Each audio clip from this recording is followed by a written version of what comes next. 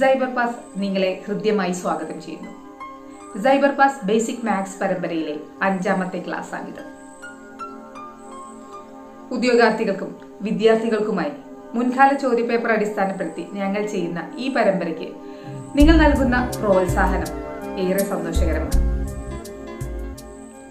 ഇന്ന് ഉസാക ഉത്തമ സാധാരണ ഘടകം അഥവാ H C M highest common factor എങ്ങനെ വളരെ എളുപ്പത്തിൽ കണ്ടെത്താം എന്ന് പരിചയപ്പെടുത്തുകയാണ് ക്ലാസ്. വളരെ ശ്രദ്ധയോടുകൂടി കേട്ട് മനസ്സിലാക്കുകയല്ലോ നിങ്ങളുടെ സുഹൃത്തുക്കൾക്കും ഉദ്യോഗാർത്ഥികൾക്കും വിദ്യാർത്ഥികൾക്കും ക്ലാസുകൾ ഷെയർ ചെയ്യാൻ മറക്കരുത്. സൈബർ പാസ് നിങ്ങളെ വീണ്ടും സ്വാഗതം ചെയ്യുന്നു. നമുക്ക് ക്ലാസ്സിലേക്ക് കടക്കാം. ചോദ്യം ഒന്ന്. പതിനഞ്ച് ഇരുപത്തിനാല് നാൽപ്പത്തിരണ്ട്. എന്നീ സംഖ്യകളുടെ ഉസാഖ. എച്ച് സി എഫ് കാണുക. എൽ സി എം കണ്ടുപിടിക്കാൻ നമ്മൾ എന്താ ചെയ്തത്? തന്നിരിക്കുന്ന സംഖ്യകളുടെ അഭാജ്യ ഘടകങ്ങൾ കണ്ടുപിടിച്ചു അല്ലേ? അതുപോലെ തന്നെ എച്ച് സി എഫ് അഥവാ ഉസാഖ കാണാനും നമ്മൾ ചെയ്യേണ്ടത് തന്നിരിക്കുന്ന സംഖ്യകളുടെ അഭാജ്യ ഘടകങ്ങൾ കണ്ടുപിടിക്കുകയാണ്. അപ്പോൾ തന്നിരിക്കുന്ന സംഖ്യകളിൽ ആദ്യത്തെ സംഖ്യ ഏതാണ്? പതിനഞ്ച്. പതിനഞ്ചിന്റെ അവസാനത്തെ അക്കം അഞ്ചായതുകൊണ്ട് പതിനഞ്ചിന്റെ ഒരു ഘടകം എന്തായിരിക്കും? അഞ്ച്. പതിനഞ്ചിനെ നമ്മൾ അഞ്ച് കൊണ്ട് ഹരിച്ചാൽ നമുക്ക് എന്താ ഉത്തരം കിട്ടുന്നത്? മൂന്ന്. അപ്പം പതിനഞ്ചിനെ നമുക്ക് എങ്ങനെ എഴുതാം? അഞ്ച് ഗുണിക്കണം മൂന്ന് എന്ന് എഴുതാം. ഇവിടെ അഞ്ചൊരു അഭാജ്യ സംഖ്യയാണ് മൂന്ന് ഒരു അഭാജ്യ സംഖ്യയാണ് അപ്പോൾ നമുക്ക് പതിനഞ്ചിന്റെ അഭാജ്യ ഘടകങ്ങൾ ലഭിച്ചു. ഇനി അടുത്ത സംഖ്യ ഏതാണ്? ഇരുപത്തിനാല്. ഇരുപത്തിനാല് ഇരട്ട സംഖ്യയാണ്. അപ്പോൾ ഇരട്ട സംഖ്യകളുടെ ഒരു ഘടകം എന്തായാലും രണ്ടായിരിക്കും. അപ്പോൾ നമ്മൾ ഇരുപത്തിനാലിനെ രണ്ട് കൊണ്ട് ഹരിച്ചാൽ നമുക്ക് എന്താണ് ഉത്തരം കിട്ടുക? പന്ത്രണ്ട് അല്ലേ? അപ്പോൾ ഇരുപത്തിനാലിന് നമുക്ക് രണ്ട് ഗുണിക്കണം പന്ത്രണ്ട് എന്ന് എഴുതാം. ഇനി പന്ത്രണ്ടും ഒരു ഇരട്ട സംഖ്യയാണ്. അപ്പോൾ പന്ത്രണ്ടിനെ നമുക്ക് എന്ത് എഴുതാം? പന്ത്രണ്ടിനെയും നമുക്ക് രണ്ടൊരു ഘടകമായിരിക്കും. രണ്ടുകൊണ്ട് ഹരിച്ചു കഴിഞ്ഞാൽ നമുക്ക് ആറ് എന്ന് കിട്ടും. അപ്പോൾ പന്ത്രണ്ട് സമം രണ്ട് ഗുണിക്കണം ആറ്. ആറും ഒരു ഇരട്ട സംഖ്യയാണ്. അപ്പം ആറിന്റെ ഒരു ഘടകം രണ്ടാണ് ആറിനെ നമ്മൾ രണ്ടുകൊണ്ട് ഹരിച്ചു കഴിഞ്ഞാൽ നമുക്ക് എന്താ കിട്ടുക? മൂന്ന്. അപ്പം ആറിനെ രണ്ടേ ഗുണിക്കണം. മൂന്ന് എന്ന് എഴുതാം. ഇപ്പോൾ നമുക്ക് കുറേ അഭാജ്യ ഘടകങ്ങൾ കിട്ടി കിട്ടിയില്ലേ അപ്പോൾ ഇരുപത്തിനാലിന് നമുക്ക് എന്ത് എഴുതാം? ഇരുപത്തിനാല് സമം രണ്ട് ഘാതം മൂന്ന് ഗുണിക്കണം. മൂന്ന് എന്ന് എഴുതാം. ഇനി അടുത്തത് നാൽപ്പത്തിരണ്ട്. നാൽപ്പത്തിരണ്ടും ഒരു ഇരട്ട സംഖ്യയാണ്. നാൽപ്പത്തിരണ്ടിന്റെ ഒരു ഘടകം രണ്ടാണ്. രണ്ടിന് നാൽപ്പത്തിരണ്ടിനെ രണ്ടുകൊണ്ട് ഹരിച്ചാൽ നമുക്ക് എന്താ കിട്ടുന്നത്? ഇരുപത്തി ഒന്ന് എന്ന് കിട്ടും. ഇനി ഇരുപത്തി ഒന്ന് ഇരുപത്തൊന്നിന്റെ ഒരു ഘടകം എന്താണ് നമുക്കറിയാം അല്ലേ? ഏഴ് ഗുണിക്കണം മൂന്നാണ് ഇരുപത്തി ഒന്ന് എന്നുള്ളത്. അപ്പം നമുക്ക് ഇരുപത്തൊന്നിനെ ഏഴ് ഗുണിക്കണം മൂന്ന് എന്ന് എഴുതാം. അപ്പോൾ ഇവിടെ രണ്ടും ഏഴും മൂന്നും അഭാജ്യ സംഖ്യകളാണ്. അപ്പോൾ നമുക്ക് ഇരു നാൽപ്പത്തി രണ്ടിന്റെയും അഭാജ്യ ഘടകങ്ങൾ കിട്ടിക്കഴിഞ്ഞു. ഇപ്പോൾ നമുക്ക് മൂന്ന് സംഖ്യകളുടെയും അഭാജ്യ ഘടകങ്ങൾ ലഭിച്ചു. ഇനി ഇതിൽ നിന്ന് ഉസാഗയുടെ അഭാജ്യ ഘടകം എങ്ങനെ കണ്ടുപിടിക്കാമെന്ന് നോക്കാം. അപ്പോൾ നമ്മൾ ഈ ഘടകങ്ങൾ പരിശോധിക്കുക. മൂന്നിലും വന്നിട്ടുള്ള ഘടകം ഏതാണോ അതാണ് എടുക്കേണ്ടത്. അപ്പോൾ ഇവിടെ നമ്മൾ നോക്കുമ്പോൾ പതിനഞ്ചിന്റെ ഘടകം ഒരു ഘടകം അഞ്ചാണ്. അത് ഇരുപത്തിനാലിലും ഇല്ല നാൽപ്പത്തിരണ്ടിലും ഇല്ല. അതുകൊണ്ട് നമ്മൾ അഞ്ചിനെ ഒഴിവാക്കും. ഇനി പതിനഞ്ചിന്റെ അടുത്ത ഘടകം എന്താണ്? മൂന്ന്. അത് ഇരുപത്തിനാലിന്റെ ഒരു ഘടകമാണ് മൂന്ന്. നാൽപ്പത്തിരണ്ടിന്റെയും ഒരു ഘടകമാണ് മൂന്ന്. അപ്പം മൂന്നിലും മൂന്നുണ്ട്. അതുകൊണ്ട് ഉസാഗയുടെ ഒരു ഘടകം മൂന്നാണ്. ഇനി പതിനഞ്ചിന് വേറെ ഘടകങ്ങളൊന്നുമില്ല അല്ലേ? അതുകൊണ്ട് ഇനി നമുക്ക് ബാക്കിയുള്ള സംഖ്യകളിലോട്ട് പോകേണ്ട ആവശ്യമില്ല. നമുക്ക് ഉസാഗ മൂന്ന് എന്ന് ലഭിച്ചു. അപ്പോൾ ഇവിടെ എച്ച് സി എഫ് മൂന്ന്. ചോദ്യം രണ്ട്. മുപ്പത്തിയാറ് അറുപത് അറുപത്തിയാറ് എന്നീ സംഖ്യകളുടെ ഉസാഖ അഥവാ എച്ച് സി എഫ് കാണുക. ആദ്യം നമുക്ക് തന്നിരിക്കുന്ന സംഖ്യകളുടെ അഭാജ്യ ഘടകങ്ങൾ കണ്ടുപിടിക്കാം. ആദ്യത്തെ സംഖ്യ ഏതാണ്? മുപ്പത്തിയാറ്. മുപ്പത്തിയാറ് ഒരു ഇരട്ട സംഖ്യ ആയതുകൊണ്ട് മുപ്പത്താറിന്റെ ഒരു ഘടകമാണ് രണ്ട്. ഇപ്പോൾ മുപ്പത്തി ആറിന് നമ്മൾ രണ്ട് കൊണ്ട് ഹരിച്ചാൽ നമുക്ക് എന്താ കിട്ടുന്നത്? പതിനെട്ട്. അപ്പോൾ മുപ്പത്താറിന് നമുക്ക് രണ്ടേ ഗുണിക്കണം പതിനെട്ട് എന്ന് എഴുതാം. ഇനി പതിനെട്ടും ഒരു ഇരട്ട സംഖ്യയാണ് അല്ലേ? അപ്പോൾ പതിനെട്ടിനെ നമ്മൾ രണ്ട് കൊണ്ട് ഹരിക്കുക. അപ്പം നമുക്ക് എന്താ കിട്ടുന്നത്? ഒമ്പത്. അപ്പോൾ പതിനെട്ടിന് പകരം നമുക്ക് രണ്ടേ ഗുണിക്കണം ഒമ്പത് എന്ന് എഴുതാം. ഒമ്പത് ഒരു അഭാജ്യ സംഖ്യയല്ല. അതുകൊണ്ട് ഒമ്പതിനെ നമുക്ക് ഘടകങ്ങളാക്കാൻ പറ്റും. ഒമ്പതിന് നമുക്ക് എങ്ങനെ എഴുതാം? മൂന്നേ ഗുണിക്കണം മൂന്ന് എന്ന് എഴുതാം. ഇപ്പോൾ നമുക്ക് മുപ്പത്താറിന്റെ അഭാജ്യ ഘടകങ്ങളെല്ലാം കിട്ടി. മുപ്പത്താറിന് നമുക്ക് എങ്ങനെ എഴുതാം? രണ്ടേ ഗുണിക്കണം രണ്ടേ ഗുണിക്കണം മൂന്നേ ഗുണിക്കണം മൂന്ന്. അതായത് രണ്ടേ ഘാതം രണ്ടേ ഗുണിക്കണം മൂന്നേ ഘാതം രണ്ട് എന്ന് എഴുതാം. അടുത്ത സംഖ്യ അറുപതാണല്ലേ? അറുപതിന്റെ അവസാനം എന്താണ്? പൂജ്യമാണ്. അപ്പോൾ നമുക്ക് എന്താ പറയുക അവസാനം പൂജ്യം വന്നു കഴിഞ്ഞാൽ അതിന്റെ ഒരു ഘടകമാണ് പത്ത്. അറുപതിന് പത്തുകൊണ്ട് ഹരിച്ചു കഴിഞ്ഞാൽ നമുക്ക് എന്താ കിട്ടുന്നത്? ആറ് എന്ന് കിട്ടും അല്ലേ? അപ്പോൾ അറുപതിന് നമുക്ക് പത്തേ ഗുണിക്കണം ആറ് എന്ന് എഴുതാം. അപ്പോൾ ഇവിടെ പത്ത് ഒരു ഇരട്ട സംഖ്യയാണ് ആറും ഒരു ഇരട്ട സംഖ്യയാണ്. നമുക്ക് ആദ്യം പത്തിന് ചെറുതാക്കാം. അപ്പോൾ പത്തെടുക്കാം. പത്തിന് നമുക്ക് എന്ത് എഴുതാം രണ്ടുകൊണ്ട് ഹരിച്ചു കഴിഞ്ഞാൽ നമുക്ക് എന്താ ഉത്തരം കിട്ടുന്നത്? അഞ്ച് എന്ന് അല്ലേ? അപ്പോൾ പത്തിന് നമുക്ക് രണ്ട് ഗുണിക്കണം അഞ്ച് എന്ന് എഴുതാം. ഇവിടെ രണ്ട് ഒരു അഭാജ്യ സംഖ്യയാണ് അഞ്ച് ഒരു അഭാജ്യ സംഖ്യയാണ്. ഇനി അടുത്തത് ആറ് എടുക്കാം. ആറിന് നമുക്ക് രണ്ടുകൊണ്ട് ഹരിച്ചു കഴിഞ്ഞാൽ എന്താ കിട്ടുന്നത്? മൂന്ന് എന്ന് അല്ലേ? അപ്പം ആറിന് നമുക്ക് രണ്ട് ഗുണിക്കണം മൂന്ന് എന്ന് എഴുതാം. ഇപ്പോൾ നമുക്ക് അറുപതിന്റെ അഭാജ്യ ഘടകങ്ങൾ കിട്ടി. അപ്പം അറുപതിനെ നമുക്ക് എങ്ങനെ എഴുതാം? രണ്ടേ ഘാതം രണ്ട് ഗുണിക്കണം അഞ്ച് ഗുണിക്കണം മൂന്ന് എന്ന് എഴുതാം.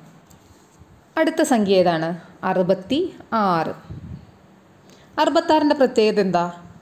അതൊരു രണ്ടക്ക സംഖ്യയാണ്. ആ സംഖ്യയിലെ രണ്ടക്കങ്ങളും തുല്യമാണ് അല്ലേ?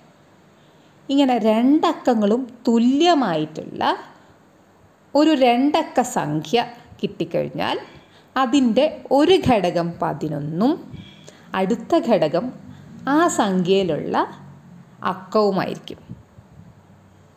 അപ്പം അറുപത്തി ആറിന്റെ രണ്ട് ഘടകങ്ങൾ നമുക്ക് കിട്ടി. പതിനൊന്നും ആറും. ഇവിടെ പതിനൊന്ന് ഒരു അഭാജ്യ സംഖ്യയാണ്. ഇനി നമുക്ക് ആറിനെ ചെറുതാക്കാം. ആറിനെ നമുക്ക് എങ്ങനെ എഴുതാം? രണ്ടേ ഗുണിക്കണം മൂന്ന് എന്ന് എഴുതാം. അപ്പോൾ നമുക്ക് അറുപത്തി ആറിന് എങ്ങനെ എഴുതാം? പതിനൊന്നേ ഗുണിക്കണം രണ്ടേ ഗുണിക്കണം മൂന്ന്. ഇപ്പോൾ നമുക്ക് മൂന്ന് സംഖ്യകളുടെയും അഭാജ്യ ഘടകങ്ങൾ കിട്ടി. ഇനി നമുക്ക് ഇതിൽ നിന്ന് ഉസാഗ അല്ലെങ്കിൽ എച്ച് സി എഫിന്റെ പ്രൈം ഫാക്ടേഴ്സ് അഭാജ്യ ഘടകങ്ങൾ കണ്ടുപിടിക്കാം. അപ്പം നമ്മൾ ഫസ്റ്റ് നമ്പർ എടുക്കാം തേർട്ടി സിക്സ് അതിന്റെ ഘടകങ്ങളെ വന്നിട്ടുള്ള സംഖ്യകൾ ഏതൊക്കെയാണ്? രണ്ടും മൂന്നും. അപ്പം നോക്കാം. മുപ്പത്താറിൽ രണ്ടുണ്ട് അറുപതിൽ രണ്ടുണ്ട് അറുപത്തി ആറിലും രണ്ടുണ്ട്. അപ്പം എച്ച് സി എഫിലും രണ്ട് വേണം. ഇനി രണ്ട് എത്ര തവണ വരണം? മുപ്പത്തി ആറിൽ രണ്ട് രണ്ട് തവണയുണ്ട് അറുപതിലും രണ്ട് രണ്ട് തവണയുണ്ട് പക്ഷേ അറുപത്തി ആറിൽ രണ്ട് ഒറ്റ പ്രാവശ്യം. അപ്പോൾ നമ്മൾ ഉസാഗയിലും രണ്ട് എത്ര പ്രാവശ്യം എടുക്കാൻ പാടുള്ളൂ? ഒറ്റ പ്രാവശ്യം എടുക്കാൻ പാടുള്ളൂ. ഇനി മുപ്പത്താറിന്റെ അടുത്ത ഘടകം ഏതാണ്? മൂന്ന്. അറുപതിലും മൂന്നുണ്ട് അറുപത്തി ആറിലും മൂന്ന് ഘടകമായിട്ട് വന്നിട്ടുണ്ട്. ഇനി എത്ര തവണ എടുക്കണം? മുപ്പത്താറിൽ മൂന്ന് രണ്ട് തവണ വന്നിട്ടുണ്ട് അറുപതിൽ മൂന്ന് ഒരു തവണയേ വന്നിട്ടുള്ളൂ. അറുപത്തി ആറിലും മൂന്ന് ഒരു തവണയേ വന്നിട്ടുള്ളൂ. അപ്പോൾ നമുക്ക് ഉസാഖ അല്ലെങ്കിൽ എച്ച് സി എഫിലും മൂന്ന് ഒറ്റ തവണ എടുക്കാവൂ. ഇനി മുപ്പത്താറിന് ഘടകങ്ങളൊന്നുമില്ല. അതുകൊണ്ട് നമുക്കവിടെ നിർത്താം. ഇപ്പോൾ നമുക്ക് ഉസാഖ അല്ലെങ്കിൽ എച്ച് സി എഫിന്റെ പ്രൈം ഫാക്ടേഴ്സ് അഭാജ്യ ഘടകങ്ങൾ കിട്ടി. അപ്പോൾ ഉസാഖ എന്താ വരിക? ഉസാഖ സമം അല്ലെങ്കിൽ എച്ച് സി എഫ് സമം രണ്ട് ഗുണിക്കണം മൂന്ന് സമം ആറ്. ചോദ്യം മൂന്ന്. ഒമ്പത് പതിനെട്ട് നാൽപ്പത്തിനാല് എന്നീ സംഖ്യകളുടെ ഉസാഖ. എച്ച് സി എഫ് കാണുക അപ്പോൾ ആദ്യം നമ്മൾ എന്താ ചെയ്യേണ്ടത്? അഭാജ്യ ഘടകങ്ങൾ കണ്ടുപിടിക്കുക. ഒമ്പതിന്റെ അഭാജ്യ ഘടകങ്ങൾ ഏതൊക്കെയാണ്? ഒമ്പതിനെ നമുക്ക് മൂന്നേ ഗുണിക്കണം മൂന്ന് എന്ന് എഴുതാം അല്ലേ അപ്പം ഒമ്പതിന്റെ അഭാജ്യ ഘടകം മൂന്നേ ഘാതം രണ്ട്. പതിനെട്ടിന് നമുക്ക് എങ്ങനെ എഴുതാം? രണ്ടേ ഗുണിക്കണം ഒമ്പത് എന്ന് എഴുതാം. ഇനി ഒമ്പത് മൂന്നേ ഘാതം രണ്ടാന്ന് നമുക്കറിയാം. അപ്പോൾ ഒമ്പതിനെ നമുക്ക് മൂന്നേ ഘാതം രണ്ട് എന്ന് നേരിട്ട് എഴുതാം. അടുത്തത് നാൽപ്പത്തി നാലാണ് അപ്പം നാൽപ്പത്തി നാലിന് നമ്മൾ നേരത്തെ എന്താ പറഞ്ഞത്? തന്നിരിക്കുന്ന സംഖ്യകളിൽ രണ്ട് അക്കങ്ങളും തുല്യമാണെങ്കിൽ ഘടക ഒരു ഘടകം പതിനൊന്നും അടുത്ത ഘടകം ആക്കവുമായിരിക്കും അല്ലേ അപ്പോൾ ഇവിടെ നാൽപ്പത്തി നാലിന് നമുക്ക് പതിനൊന്നേ ഗുണിക്കണം നാല് ഇത് എഴുതാം. ഇപ്പോൾ നമുക്ക് അഭാജ്യ ഘടകങ്ങളെല്ലാം ലഭിച്ചു. ഇനി നമുക്ക് ഉസാഖ അല്ലെങ്കിൽ എച്ച് സി എഫിന്റെ അഭാജ്യ ഘടകങ്ങൾ ഏതെല്ലാം എന്ന് നോക്കാം.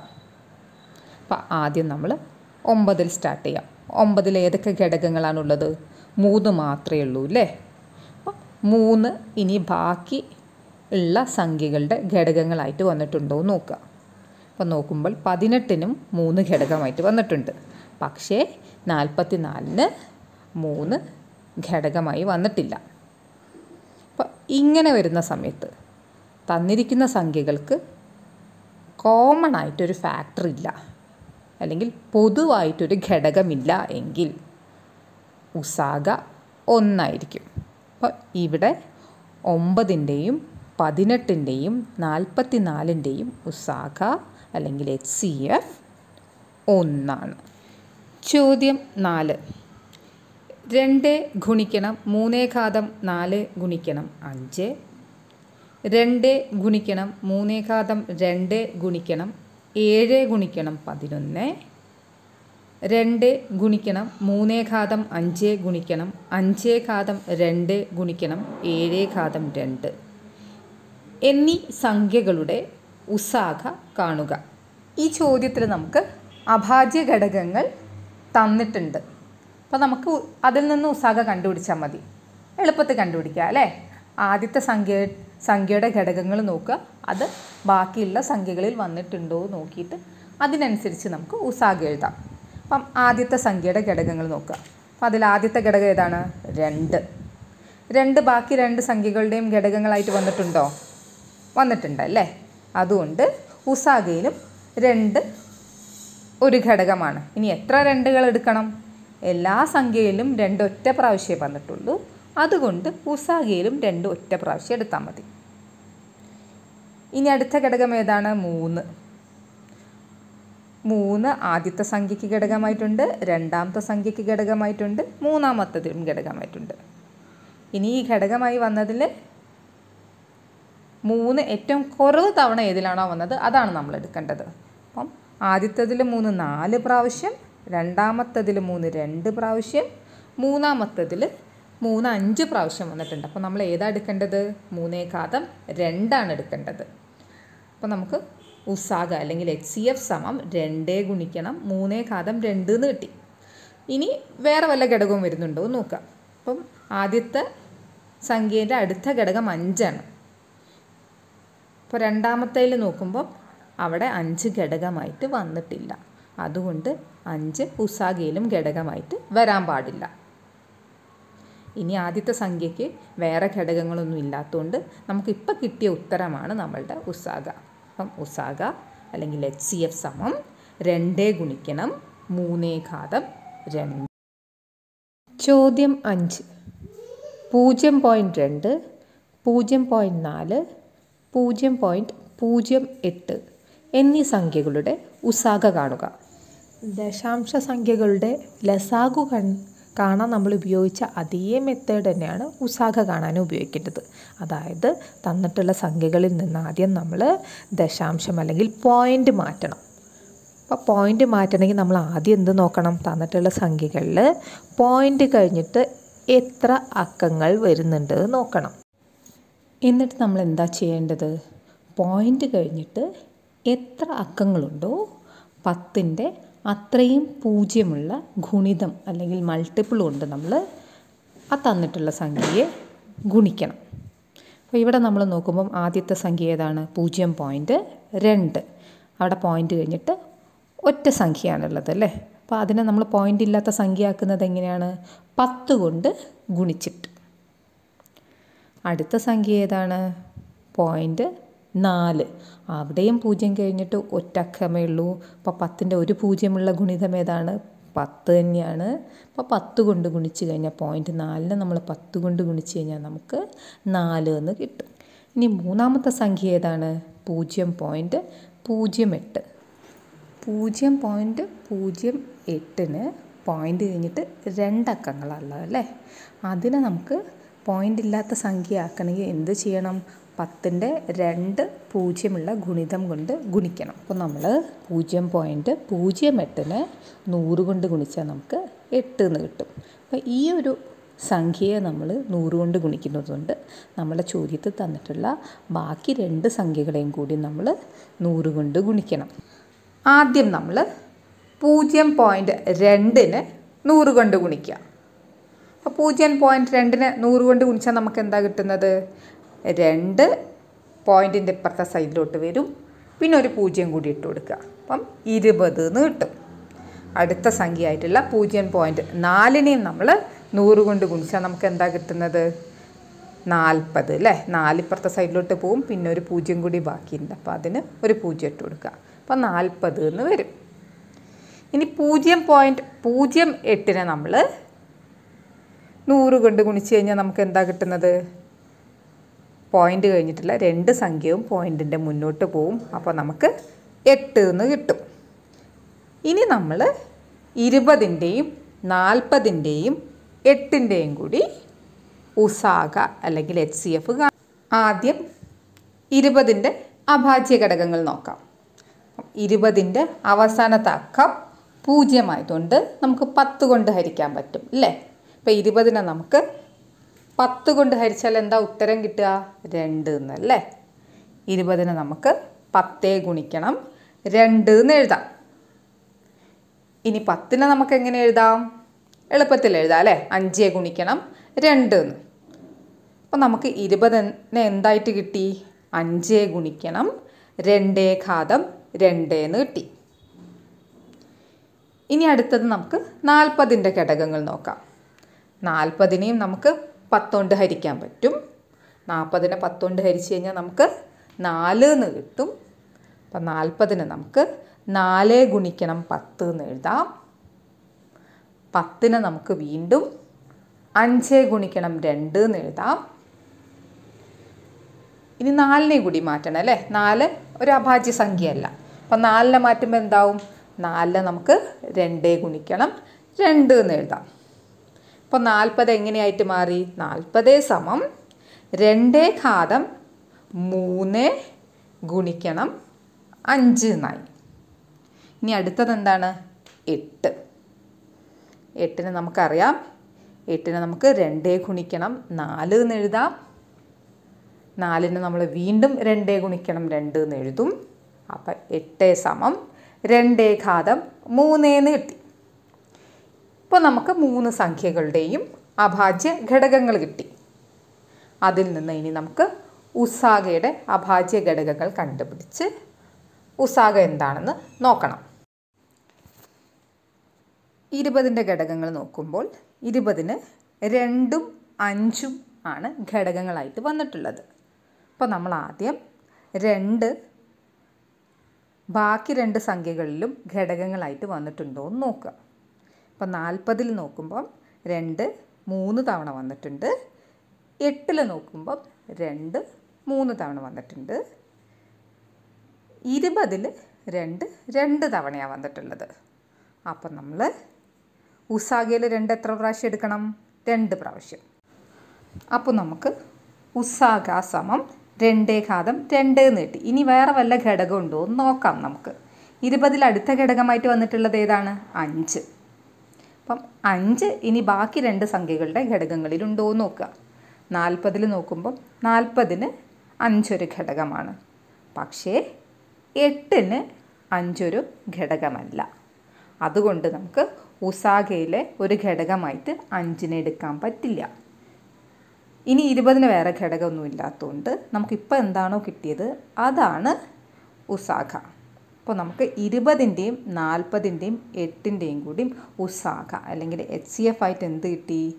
രണ്ടേ ഘാതം രണ്ട് സമം നാല് എന്ന് കിട്ടി.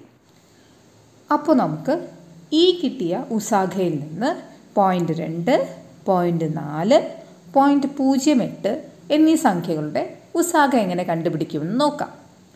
നമ്മൾ ആദ്യം പോയിന്റ് രണ്ടിനെയും പോയിന്റ് നാലിനെയും പോയിന്റ് പൂജ്യം എട്ടിനെയും ദശാംശം ഇല്ലാത്ത സംഖ്യയാക്കാൻ എന്താ ചെയ്തത്? നൂറ് കൊണ്ട് ഗുണിച്ചിരുന്നു അല്ലേ? അപ്പം നമ്മൾ ഇപ്പം കിട്ടിയിട്ടുള്ള ഉസാഖയെ തിരിച്ച് പോയിന്റ് രണ്ടിന്റെയും പോയിന്റ് നാലിന്റെയും പോയിന്റ് പൂജ്യം എട്ടിന്റെയും ഉസാഖയാക്കാൻ വേണ്ടിയിട്ട് നൂറ് കൊണ്ട് ഹരിക്കണം. അപ്പം നാലിന് നമ്മൾ നൂറ് കൊണ്ട് ഹരിച്ചാൽ നമുക്ക് എന്താ കിട്ടുന്നത്? പോയിന്റ് പൂജ്യം നാല്. പോയിന്റ് പൂജ്യം നാലാണ്. പോയിന്റ് രണ്ടിന്റെയും പോയിന്റ് നാലിന്റെയും പോയിന്റ് പൂജ്യം എട്ടിന്റെയും ഉസാഖ അല്ലെങ്കിൽ എച്ച് സി എഫ് പരീക്ഷാ ചോദ്യങ്ങളെ അടിസ്ഥാനമാക്കി കണക്കിലെ ബേസിക് തത്വങ്ങൾ പഠിച്ചുകൊണ്ട് വിജയം നേടാൻ ഈ ക്ലാസുകൾ നിങ്ങളെ സഹായിക്കും. നന്നായി കേട്ട് എഴുതി പഠിക്കുക. സൈബർ പാസ് നിങ്ങളെ വിജയത്തിലേക്ക് സ്വാഗതം ചെയ്യും